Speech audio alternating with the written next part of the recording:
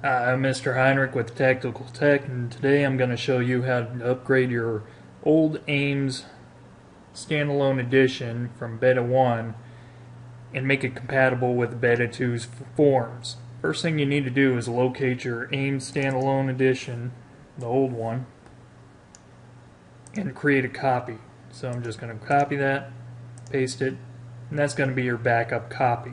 After that, I'll go and open up this uh, edition you know, just let you know I already have downloaded the new version here, which you'll need this BAS file later.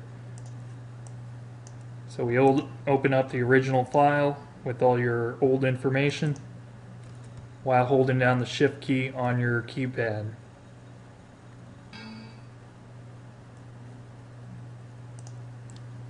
you get that error, don't worry about it.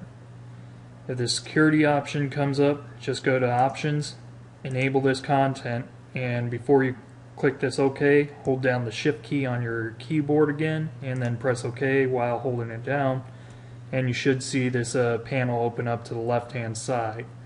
You need to go to Database Tools, Visual Basic, and it will bring up this Visual Basic window.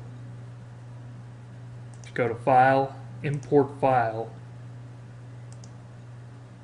and locate that BAS file we were talking about earlier. It'll be called update aim schema.bas. Go to open it and then locate it in this panel here under modules. Click on it, highlight it, and press the run macro button either from the play button, F5 key, or run menu. It might pop up with this. Go ahead press run and it should pop up with this window saying schema has updated successfully. If it did not, feel free to contact us at tacticaltechadm at gmail.com. Go OK. We can go ahead and remove this. Right click, remove update schema. Uh, no on removing it, or no on exporting it, and go ahead and close this Visual Basic window. Next thing you want to do is ensure that this is sorted by object type just by clicking that drop down.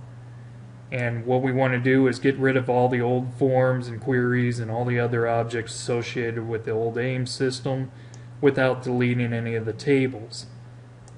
So scroll on down.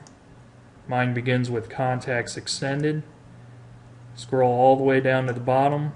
Press and hold the shift key on your keyboard and click the last item and that should highlight all these items. And again ensure that you're not deleting any of these tables because we're going to go ahead and hit the delete key on the keypad or we can just right mouse click and delete here.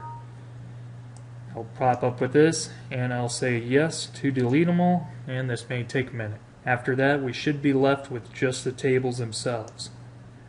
Now go ahead and move this off to the side and we're going to open up the new AIMS standalone database without any information in it. As you open this up, again, hold down the shift key so it'll bring up this menu here. In this case, we don't need to enable the options because we're just going to copy from here. Again, go ahead sort everything by object type and do not click any of the tables. We're just going to do about the same thing we just did highlight from that first object there under tables all the way down here to update aim mod mapping. Don't worry about the update schema that pretty much served its purpose. And again, ensure that you didn't select any of these tables. Just right mouse, copy, and let's go back to the standalone, the original one, file we've been working with. Right mouse and paste. This is where it gets fun. It'll pop up with a window for each object you're copying over, so it'll take forever. Just basically hit OK for each one. Do not change name on any of them. And this will take a minute.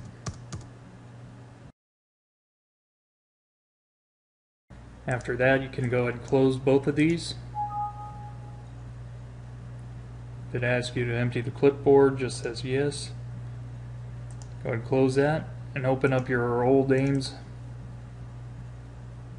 standalone actual original file. Click on options, enable this content, and just ensure that it's popping up with all your data that you had in the old database. If it is, uh, go ahead and test it out. A couple of buttons. And if it all works out for you, congratulations, you have now been upgraded. Thank you very much. Have a nice day.